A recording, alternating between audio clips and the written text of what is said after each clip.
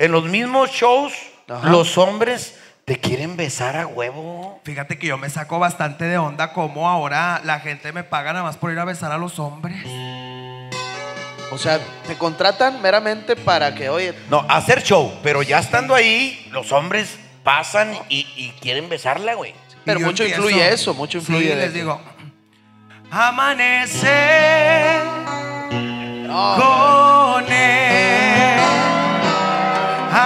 Costado no es igual que estar contigo.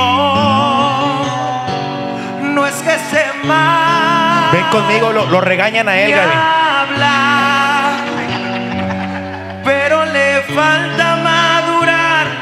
Es de Tampico, blanco como el ¡Ay!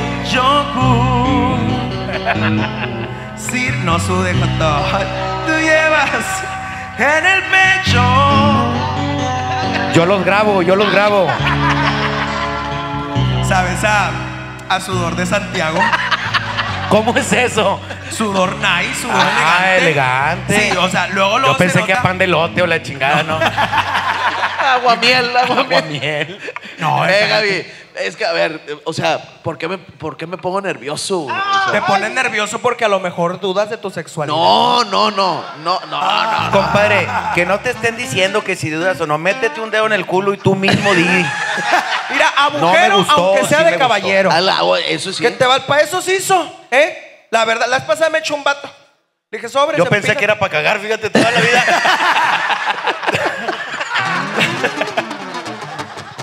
No, también. A eso voy. La vez pasada me echó un vato. Ajá. Le dije, ¿cuánto quieres? Que yo acostumbro, la verdad. Me gusta un vato. Le digo, ¿cuánto quieres? ¿Cuánto Órale, cuestas? ah. Es como todo. Y es un tema que, que nosotros en el ambiente tenemos. Que a veces dicen, güey, ¿pero por qué le pagas a los hombres? ¿Y por qué un hombre sí le paga a una mujer? Ok. Entonces, la vez pasada yo llegué con un vato y le dije, ¿qué onda? ¿Cuánto quieres? Dijo, no, pues dame unos 1500. Le dije, al chile nada más traigo 400. Regateadora también. La Así verdad. es, así Le dije, pero te aseguro buen jale. Te perdí unas dos horas y media, sí me aviento. A la madre, o sea, este de dos horas y media aguant- aguantas tú, pero él, No tiene que a aguantar. la madre, qué compromiso, Lo em- hijo de la al vato, oye. lo empiné al vato, me lo eché. Haz cuenta que lo tenía en la cama, lo empiné al vato.